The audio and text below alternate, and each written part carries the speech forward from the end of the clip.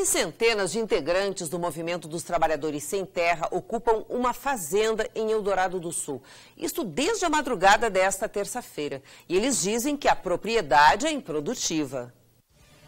A fazenda de 400 hectares, com o nome Tio Faustino, foi invadida no final desta madrugada. Mais de 300 pessoas ligadas ao movimento dos trabalhadores rurais sem terra do estado ocupam o local.